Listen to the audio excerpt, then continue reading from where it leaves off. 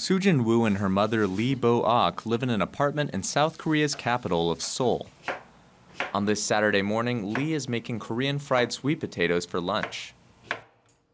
Some parts of the food, like the sweet potato peels, won't make the final dish, but instead of tossing them in the trash, Lee places the food waste in this special container.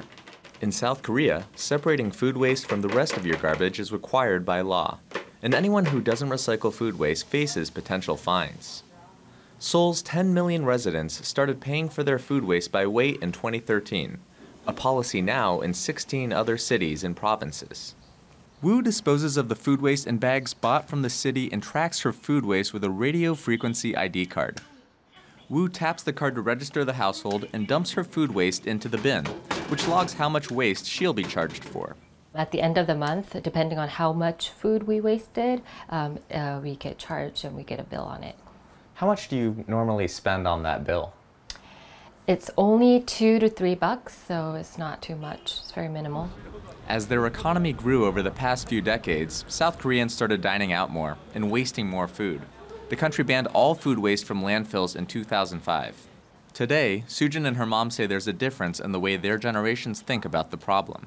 I tend to have a big appetite, but I want to also make sure I'm not eating too much or gaining too much weight. So sometimes, although it's bad to leave food, I also think about my diet, so I guess I don't feel as guilty.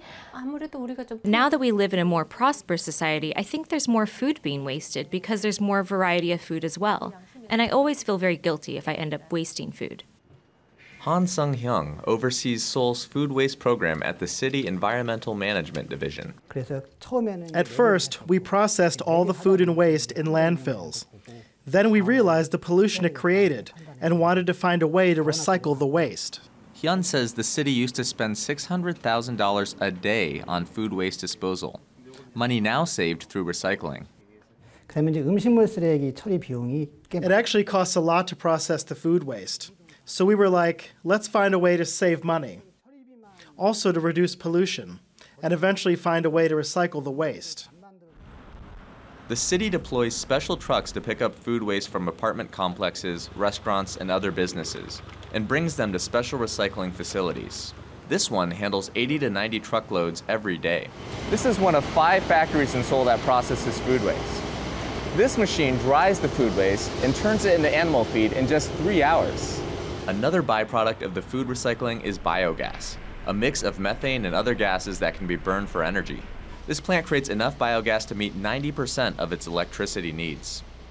Hyun says besides assessing fines, publicizing the benefits of food recycling is key to citywide cooperation.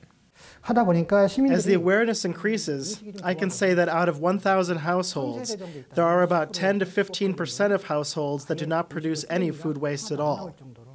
As we receive more support, I see we are on the right path to save the environment and more recycling.